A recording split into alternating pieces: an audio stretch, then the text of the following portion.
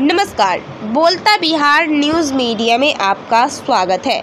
कर्नाटक विधानसभा में कांग्रेस की जीत पर रविवार को प्रखंड कांग्रेस कमेटी तेरह के कार्यकर्ताओं द्वारा विजयोत्सव मनाया गया।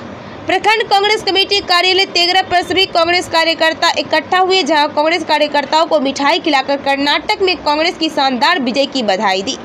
इसके बाद कांग्रेस कार्यकर्ता ढोल नगाड़ों के साथ जुलूस के शक्ल में तेघरा के विभिन्न मार्गों में गगनभेदी नारे लगाते हुए आतिशबाजी कर लोगों के बीच मिठाई बांटकर अपनी खुशी का इजहार किया।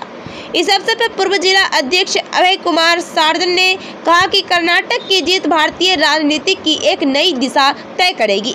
निश्चित रूप से यह विजय 2024 में केंद्र की सत्ता में कांग्रेस को वापस आने में मार्ग प्रशस्त करेगी। वहीं जिला उपाध्यक्ष चुनचुन राय ने कहा कि कर्नाटक विधानसभा चुनाव में कांग्रेस की जीत ने साबित कर दिया कि राहुल का नफरत तो रो, भारतो, भारत को, जोरों के नारे को जनता का अपार समर्थन मिला है।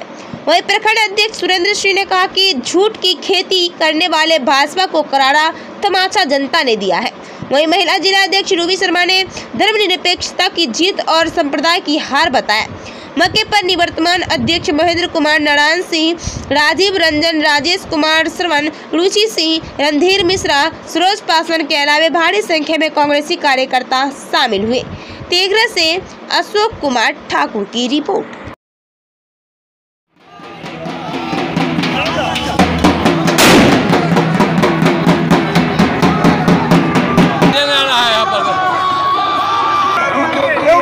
बताइए किस अवसर पर आज विजय जुलूस निकाल रहे हैं? ये भारत की प्रधानमंत्री जिस ढंग से रोड शो कर कर कांग्रेस को हराने के लिए अपनी पूरी ताकत लगाए, और आज कर्नाटक में कांग्रेस के जो प्रचार बढ़ाया कर्नाटक की जनता ने भारत के प्रधानमंत्री को याद कर दिया।